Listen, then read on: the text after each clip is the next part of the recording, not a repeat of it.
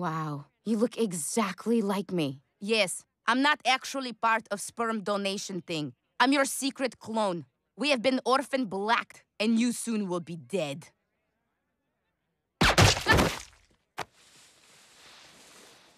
Meg, where are you? I'm right here, Mom. Well, look at your fine ass. Are you talking to me? Damn right.